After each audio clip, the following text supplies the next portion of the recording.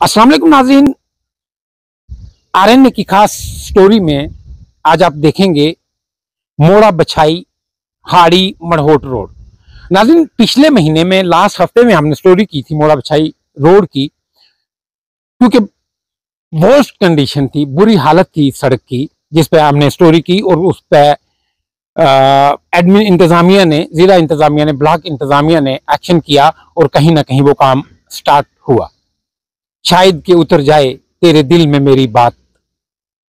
इस गर्ज से हमने स्टोरी की थी, लेकिन कहीं ना कहीं वो बात उतरी है कलम के ज़रिए, कागजों के से होते हुए जमीनी सतह पे आई है। ये जो एरिया है, इसमें ब्लैक टॉपिंग का काम शुरू हुआ है। आज सुबह से ब्लैक टॉपिंग का काम चल रहा है। और ये कैमरामैन को मैं ये कहूँगा कि जिस जगह में खड़ा हूँ, इसके अगर पहले विजुअल्स आप देखेंगे, यहाँ गाड़ी जो है वो आराम से नहीं चल सकती थी। ड्राइवर जो है वो तजब्जब में रहता था, किस खड्डे में गाड़ी को डालूं। लेकिन कहीं ना कहीं ये इन लोगों के लिए सहूलत हुई है। इस पे सड़क पर जो काम है ब्लैक टॉपिंग का शुरू हुआ है। रोड का काम आपने देखा है, ये कोई पाँच सौ मीटर एरिया है जिसमें आज इन्होंने ब्लैक टॉपिंग की है। अभी लास्ट वाला जो सील कोट है वो पड़ना है। लेकिन ये पैच वर्क है एज पर ठेकेदार पैच वर्क है, ये कोई 25 एम mm डाला जाएगा। अब इसमें देखेंगे कि मटेरियल ये ठेकेदार से बात करेंगे हम मटेरियल कौन सा कैसे पड़ रहा है। लेकिन इसके साथ में आपको ये चीज़ दिखाना चाहूँगा। ये चीज़ देखेंगे जहाँ मैं खड़ा हूँ इस वक्त, यहाँ पानी का तालाब बन जाता है। पीछे से साथ में नाला भी जा रहा है, यहाँ पानी जमा हो जाता है, कम से कम साढ़े तीन से चार फुट पानी जमा होता है।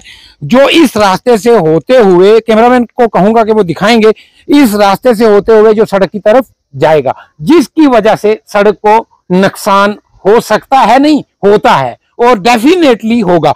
आज शाम को ही अगर बारिश होती है तो ये जो आज इन्होंने ब्लैक टॉपिंग की है, कल ये मुझे इस ज़मीन पे नज़र नहीं आएगी।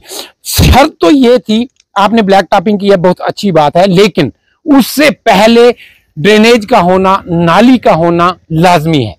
जब आपकी ड्रेनेज सिस्टम ठीक नहीं होगा, ड्रेन सही नहीं होगी तो सड़क फिर से, पहले भी इस पर ब्लैक टॉपिंग जो है, वो होती रही है, लेकिन कुछ ही महीनों के अंदर वो ब्लैक टॉपिंग जो है, वो खत्म हो जाती थी और फिर से सड़क की वही खस्ता हालत होती थी। मैं कैमरामैन को फिर से कहूँगा कि ये दिखाएँगे।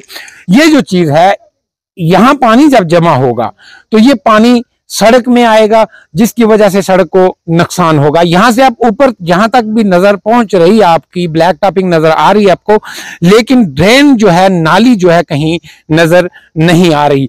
अब इसके साथ ही यहाँ लोगों से भी हम बात करेंगे कि उनकी क्या तरजीहत हैं। यहाँ जब इंतजामिया से मेरी बात हुई थी तो उन्होंने कहा कि यहाँ लोग जो है वो नालियाँ नहीं निकलने देते। देख रहे हैं हैंडपंप का पानी भी सड़क की तरफ़ जा रहा है। तो किस तरह से सड़क को तहफ़ किया जाएगा? अभी ब्लैक टॉपिंग हुई है हैंडपंप से पानी निकलता हुआ मैं कैमरामैन को कहूँगा कि वो दिखाएँगे। हैंडपंप से पानी निकलता हुआ इस तारकोल के नीचे से आते हुए सड़क के साथ साथ किनारे था इसके ब्लैक टॉपिंग के किनारे से जा रहा है। लेकिन इस पानी को किस तरफ़ निकलना चाहिए था? ये इंजीनियर ने किस तरह लगाया है? मुझे समझ नहीं आ रही है। इस पानी को बाहर निकलना चाहिए था, खेतों में वो सड़क पे आ रहा है। इन चीज़ों को भी मद्देनजर रखना चाहिए, जो डिपार्टमेंट है उनको देखना चाहिए कि इस पानी से भी रोड को कितना नुकसान हो। जो फासला हमने तय किया है, जो ये पैच देखे हैं हमने, ये लगभग कमोबेश यानी 400 मीटर से जायद है जिसपे आज ये लुक पड़ी है। हम ठेकेदार साहब से बात करना चाहेंगे। ठेकेदार साहब, आपका जो ये ठेका है कितना है? सर, ये हमारी चार सौ मीटर की अलाटमेंट है। हाँ। जो हमने बीटी करके देनी है इनको। हाँ। डिपार्टमेंट को। हाँ। ये साढ़े नौ लाख रुपए की अलाटमेंट है। हाँ। जिसमें जो हम ये कर रहे हैं। तो 400 मीटर के बाद जो ये टेंडरिंग जो इसके पीछे है धुंधक से यहाँ तक वो हुई है? वो बीटी की किसी के नहीं हुई है। हाँ। वो सिर्फ़ पाइपें जो डालनी है पानी के लिए। हाँ। तो जो ये इसका सरफेस बनाना है वो उसका हुआ है टेंडर वो बारह लाख का एक टेंडर एक ठेकेदार के पास है। वो विद इन काम शुरू हो जाएगा। यानी विद इन डेज़ ये काम हाँ, ये, का, ये काम तो इसके ये मोड़ा बछाई जो काजी कट्ठा जिसको हम बोलते हैं इसके ऊपर से अगर हम बात करें तो इसकी टेंडरिंग या इसका भी कोई काम वो चार किलोमीटर का पूरा टेंडर है हम्म। जो दुंदक से लेकर मरोड़ा हमारी चार किलोमीटर लेंथ है उसका पूरा टेंडर है वो बारह लाख रुपए का उसमें जो भी खड्डा है जो भी ऐसा है वो सरफेस करके उन्होंने देना है जहाँ पर पाइप पड़ती है पाइप डाल के देनी है बिल्कुल जैसे ठेकेदार साहब ने कहा है कि टेंडरिंग जो हुई है ये काफ़ी अच्छी बात है अच्छी पेशरफ है। हम अक्सर लोगों के मुद्दे जो हैं वो इंतजामिया तक अहल सियासत तक पहुँचाने की कोशिश करते हैं और कहीं ना कहीं उन पर इम्पैक्ट भी पड़ता है। ऐसे जब आज हमने ठेकेदार साहब से बात की है इन्होंने ये कहा है कि ये मुकम्मल कम से कम पाँच से साढ़े पाँच किलोमीटर जो ये एरिया है यहाँ पूरा। तो ये पूरा जो है इसका टेंडरिंग हो चुकी है। जैसे ये काम शुरू हुआ है विद इन डेज़ काम जो है वो शुरू हो जाएगा। रोड की कहानी आपने देखी ब्लैक टॉपिंग हो रही है, काम इस पर हो रहा है, लेकिन मकामी लोगों के यहाँ कुछ मतालबात हैं रोड के तहफ़ के लिए। रोड का तहफ़ जो है वो ड्रेनेज का होना लाजमी है, तभी जाके आप जो इस पर काम हो रहा है वो बचेगा। मकामी लोग यहाँ हमारे साथ हैं, हम उनसे बात करेंगे। अकरम साहब, कुछ दिन कबल जो हमने स्टोरी की थी इम्पैक्ट हुआ है, काम शुरू हुआ है, लेकिन अभी भी किस तरह से देखते हैं आप कि यहाँ जो मुतालबात हैं, आपके इसका तहफ़ कैसे किया जाना चाहिए? सबसे पहले तो मैं दिली तौर पर क्योंकि जो काम करे उसको क्रेडिट देना भी आवाम का ही काम होता है। कुछ अर्सा पहले आप यहाँ आए थे और आपने इस रोड की हालत देखी, और ख़ास करके आपके चैनल का, आपका और कंसर्न डिपार्टमेंट या उसके कंट्रैक्टर जो हैं, जिन्होंने ये काम शुरू किया है, उनका हम थैंक्स करते हैं कि कम से कम देर आए, दुरुस्त आए, कुछ ना कुछ तो हुआ। उसके बाद ये भी मैं कहना चाहूँगा कि ब्लैक टॉपिंग इससे पहले भी होती रही है आज भी हो रही है इससे बाद भी होती रहेगी। लेकिन हमने आ, मैं ये रिक्वेस्ट करूँगा एडमिनिस्ट्रेशन से भी और जो कंसर्न ठेकेदार हैं या जो डिपार्टमेंट इस वक्त साथ रह के ये ब्लैक टॉपिंग करवा रहा है कि हम इस काम इस पैसे को बचा तभी पाएँगे जब इसका प्रॉपर तरीके से ड्रेनेज सिस्टम जो है उसको हम जहाँ जहाँ से पानी जो है वो निकल रहा है।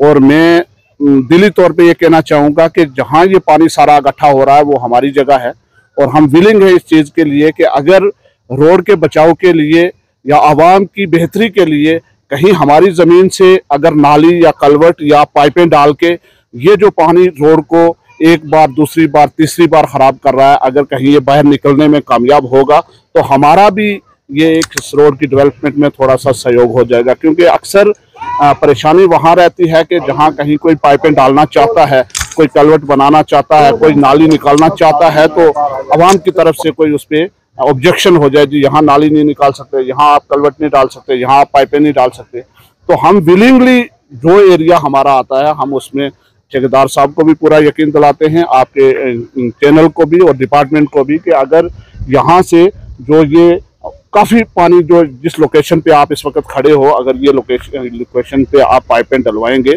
तो यकीनी तौर पे जो आज ब्लैक टॉपिंग हो रही है, ये काफ़ी अर्सा चलेगी।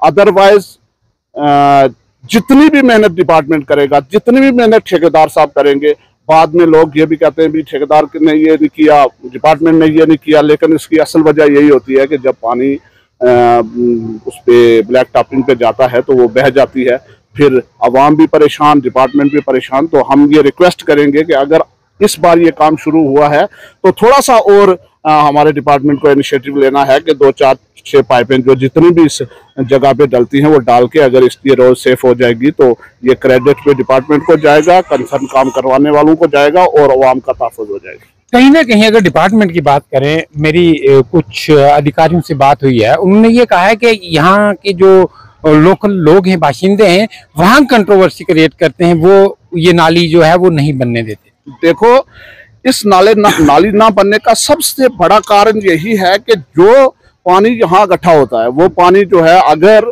आ, सारा पानी नीचे जाएगा यकीनी तौर पे वो मोहल्ले को लेके साथ में जाएगा। जिस पॉइंट पे हम ये रिक्वेस्ट कर रहे हैं डिपार्टमेंट से इस पॉइंट से अगर आप पाइपें डाल के बाहर निकाल दोगे तो इससे नीचे पानी वही बचेगा जो नाली के ज़रिया जो मेन ड्रेन सिस्टम है उसमें चला जाएगा। अगर यहाँ पाइपें डालने के बगैर यहाँ से नीचे नाली निकालेंगे यकीनी बात है कि वो नुकसान रोड का भी करेगी और मोहल्ले का भी करेगी और आगे इतना जगह नहीं है जहाँ ये सारा पानी जाके वहाँ से बाहर हो सके। तो आवाम का जहाँ तक तलक है जब डिपार्टमेंट ऐसा पिछली बार भी यहाँ आए थे उन्होंने हमें इंश्योर भी किया है कि यहाँ से पाइपें डालेंगे। अगर वो इसमें कामयाब हो जाते हैं, यहाँ से पाइपें डालते हैं तो मुझे नहीं लगता कि कोई महल्ले वाला या हमारा कोई भी साथी जो है वो इस चीज़ पे अटकेगा कि आपने यहाँ से नाली नहीं निकालती ये मुझे पूरा यकीन है। उम्मीद करता हूँ, जैसे पिछली मेरी स्टोरी पे इंतजामिया ने, चाहे वो ब्लॉक इंतजामिया हो या जिला इंतजामिया हो, आपने फिर फोर एक्शन किया था, और इसी पे इस पानी पे इस ड्रेन सिस्टम पे भी जल्दी एक्शन होना चाहिए ताकि जो आज आपका काम शुरू हुआ है इस सड़क को तहफ़ दिया जाए। ये हमारे साथ बुज़ुर्ग हैं हम इनसे भी बात करना चाहेंगे।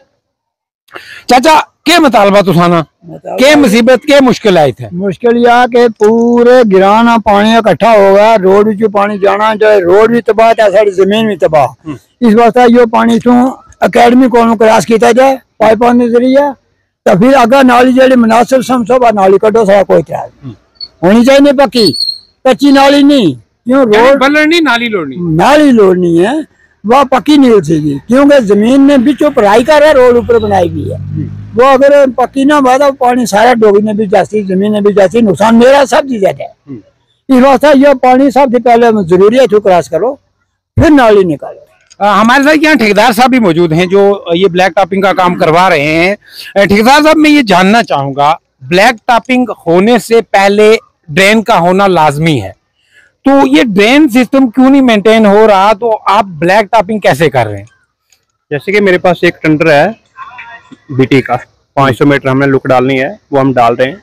एक टेंडर हमारे डिपार्टमेंट ने होर लगाया, यहाँ बारह लाख रुपए का, उसमें इन्होंने सिर्फ़ पाइपें और मेंटेनेंस का रखा है वो। हम्म। पाइपें हाँ एक साहब ने यहाँ से बोला है वो पाइपों से एस्टिमेट में दी हुई है विद इन डेट डाल जाएँगी यहाँ ये यानी ये आपका काम मुकम्मल होते ही ये हाँ, चीज़ यहाँ लग हाँ ये, ये याद रखना आप ऑन द रिकॉर्ड बोल रहे हैं। नहीं ये साहब ने बोला हुआ है हमें। हाँ। साथ में अक्रम साहब भी थे हम सब यहाँ थे एस्टिमेट में थे यहाँ पर।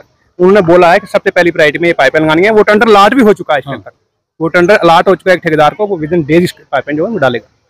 ये चार, साढ़े चार या पाँच किलोमीटर का फासला जो भी सड़क का है, इस पे मुख्तलिफ़ जो ठेकेदार हैं, उनके टेंडर पड़े हुए हैं। जैसे इनका टेंडर है, ये इनका 400 से 500 मीटर तक है। बाकी चार किलोमीटर और भी टेंडर है। तो और उम्मीद करते हैं कि ये रोड इसी तरह यहाँ से हाड़ी तक जो है, इस पे टेंडरिंग जो है हो जाएगी जल्दी और जल्द अज जल्द काम शुरू किया जाएगा ताकि आवाम को जो है फ़ायदा। रोड का आपने देखा, जो काम हमने बताया है, वो आपने देखा है, लेकिन अभी मेरे साथ मौजूद हैं ए डब्ल्यू विकास भरद्वाज जी। हम उनसे भी बात करेंगे मटेरियल के बारे में बात करेंगे, ये कौन सा काम है, इसकी लेहर जो कितने ले रहे हैं, क्या है, ये सब तफसील से हम इनके साथ साथ बात करेंगे।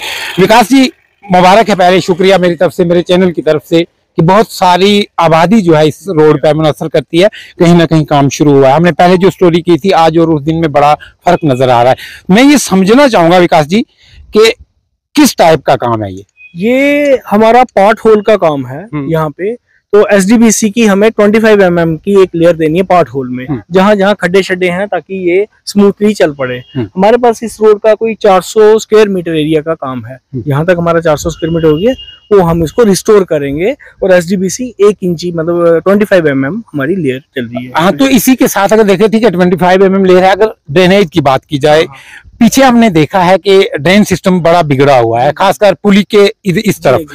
तो अगर रात को बारिश होती है तो ये रोड को तो नुकसान होगा। तो ड्रेन का क्या सिस्टम है? क्या कोई वो उसकी टेंडरिंग हुई है वो किस टेंडरिंग उसके लिए अलग टेंडरिंग का हमने कर दिया हुआ है एस्टिमेट दे दिया हुआ है। हम्म। तो बाकी अगर रात की बारिश अगर होगी तो हम टेम्परेरी रिस्टोर पहले से ही करके जाएँगे। आज ही हम इसको साइड में के बर्म फिलिंग कर हाँ। देंगे ताकि इसको डैमेज नहीं करे हमारी सरफेस मटेरियल का क्राइटेरिया अगर देखा जाए तो क्या क्या होना चाहिए इसमें? ये बजरी जो है कितने एम होनी चाहिए बीच में लुक जो है ये कितनी होनी चाहिए ये टेन एम mm की बजरी रहती है बिटुमिन मिक्स होती है बिटुमिन हाँ। प्लांट से ही आती है बड़े प्लांट से हमारी रहती है जिसमें हाँ। हमारा कंटेंट 6.5 से अब जा रहा होता है हाँ। बस इसमें क्या कि हमने ओजीपीसी जो रहती है हमारी 25 एम mm है और उसके ऊपर सील कोट लेयर हमने करके रोलिंग करके इसको ठीक है यानी अभी सील कोट जो है वो होना है बिल्कुल इसके ऊपर सील कोट होगा इसके जितने वाइड्स हैं सारे वाइड्स भर जाएँगे ताकि बारिश का पानी भी पेनिट्रेट नहीं करे नहीं करेगा। विकास जी अगर ये जैसे आपने ये डाला है अभी तो कितनी देर में ये तैयार हो जाता है गाड़ी चलने के लिए? ये बस जैसे सील कोट इस पर लेयर हो जाएगी उसके ऊपर रोलिंग हो जाएगी। तब ये थी। गा, गाड़ी जो है गाड़ी थ्रू हो जाएगी। तो इसी के साथ अगर मैं ये बात करूँ सील कोट की भी बात की आपने मटेरियल जो इसका टेम्परेचर की मैं बात करूँ यहाँ तक टेम्परेचर कैसे मेंटेन किया जाता है माइनस प्लस हो जाए तो वो कहीं ना कहीं इसको पुख्ता होने में दिक्कत आती है। देखिए जैसे कि ये जो हमारी साइट है ये हमारे प्लांट के काफ़ी नज़दीक है। हम्म। सबसे नज़दीक साइट यही पड़ती है। हम्म। और हमने प्लांट पे 145 150 डिग्री टेम्परेचर मेंटेन रखा होता है। जब वो चलता है 150 डिग्री टेम्परेचर यहाँ 120 25 से अब रहता ही रहता है। क्योंकि जब पड़ रहा होता है हम इसको टच नहीं कर सकते। वहाँ पे टेम्परेचर हमने यानी जो रिक्वायर्ड टेम्परेचर है वो यहाँ मेंटेन मेंटेन रहता है। टेम्परेचर तो विकास जी इसी इस रोड से अलावा भी अगर हम बात करें क्योंकि आप डिपार्टमेंट में हैं तो क्या लगता है कितने देर या कितने दिनों में ये कोई पाँच साढ़े पाँच किलोमीटर एरिया है जो धुंधक से हाड़ी तक है? तो कब तक ये ठीक हो जाएगा? सर एक्चुअली ये रहता है टेंडरिंग पे। हम्म। हमने एस्टिमेट दे दिया होता है। टेंडरिंग हम्म। में जैसे ही टेंडर किसी को अलॉट होता है तो हम उसी को कॉल कर सकते हैं। तब तक हमें पता नहीं चलता कि इसका क्या है। टेंडरिंग अलॉट किसको हुई है किसी को नहीं हुई है वो नहीं पता। जब अलॉटमेंट हो जाती है ना तब जैसे ही एलवन इश्यू होता है तो हम उसी को कॉल करके उसी वक्त बोलते हैं कि अब अपना साइट आप देखो हमसे पूछो क्या क्या करना है तो हम कर देंगे। बट इसका टेंडरिंग हमने प्रोसेस के लिए दे दी है शायद करेंगे जल्दी हो जाएगी विद इन डेज़ पंद्रह दिन बीस दिन के अंदर अंदर जैसे खुल जाएगी।